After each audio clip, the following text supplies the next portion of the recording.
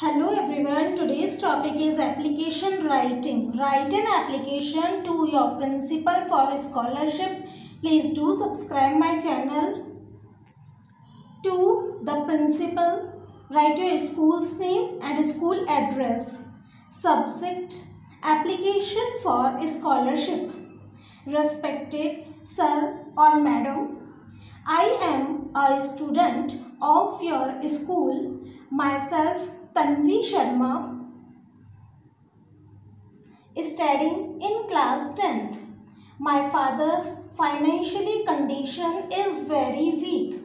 He cannot afford my school fees. Our whole family of six members. It is very tough for him to give some money for my studies.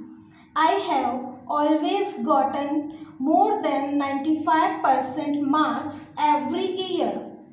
I have achieved so many awards in Olympics also.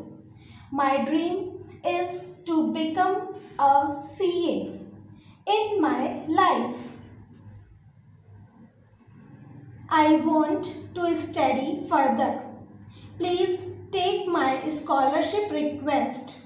I shall be very thankful to you for this act of kindness. Thanking you.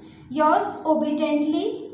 Write your name, class and section and date, current date. Thanks for watching.